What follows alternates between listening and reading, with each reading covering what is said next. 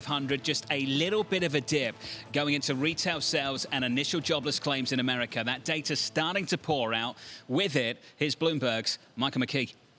Well, John, we've got some a uh, little bit better than expected news on retail sales. Retail sales come in up by or down by 1.8 percent for July, but up by seven tenths of a percent for August. So July a little bit worse than it had been, but August is a little bit better than had been forecast.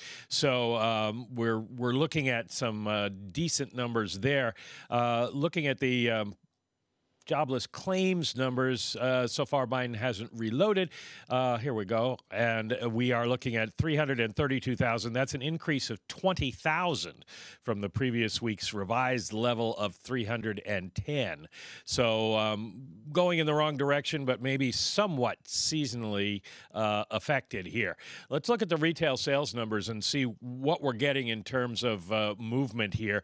The retail sales numbers for um, overall, as we mentioned, mentioned 0.7%, uh, excluding motor vehicles and parts 1.8%, and motor vehicles and parts were down by 3.6%. We knew the unit sales numbers were bad, and so this was kind of widely uh, expected.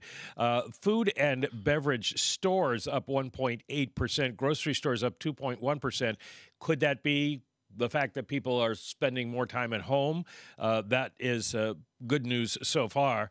And um, then we're looking at uh, the uh, the uh, food and drinking places. Uh, oh, please tell us. No change at all, despite Tom's best efforts, which is a little bit odd because uh, you'd think there'd be a little bit of a gain given the way things have been going, but it does fit with that narrative that people stayed home in August because of COVID, and of well, course, uh, we didn't see any hiring in yeah. food and drinking. John, jump in here with a market reaction, which sort of says to me it pushes against you know disinflation gloom. It's a shrug in the equity market. Yeah. We're down seven on the S and P, negative two tenths on the Nasdaq. We're negative four tenths. Push it through the bond market though, just a little bit of a lift on the Treasury curve. Yields up by two basis points on tens and thirties. One thirty-two on tens now. Thirties at one eighty-eight. How do you compare and contrast that though, Tom? Take the control group, two point 5%. It's a really strong beat for August, but the previous number, that's an ugly yeah, revision. Okay, well, you take a three month moving average, is my answer. But my answer uh, to all this, Michael McKee, is on retail sales, the control group is where the pros fall back on. But does a control group work in a pandemic? Uh, it does, uh, because basically the control group takes out things like auto uh, sales because they're reported in the retail sales figures as a dollar number. The uh, the government, the BEA uses unit sales figures. Also, fleet sales of autos go down as business investment in GDP. So they take those things out. And of course, gasoline we take out because it is so affected by price, although not much this past month, just up two tenths of a percent.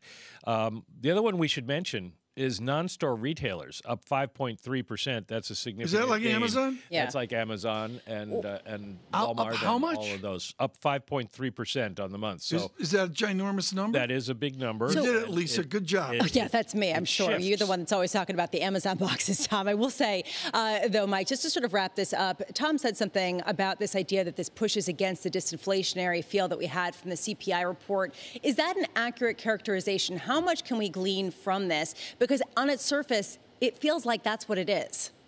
Well, you know, it, it, it's a marginal change because they do, not adjust these numbers for inflation. So if you put inflation into it, uh, they would be slightly smaller. But because of the drop uh, in inflation during the month in many categories, uh, it, it, might be uh, not much of a change to watch for this time. Overall, over the past uh, year, year and a half, uh, retail sales have been mm-hmm. buoyed by inflation.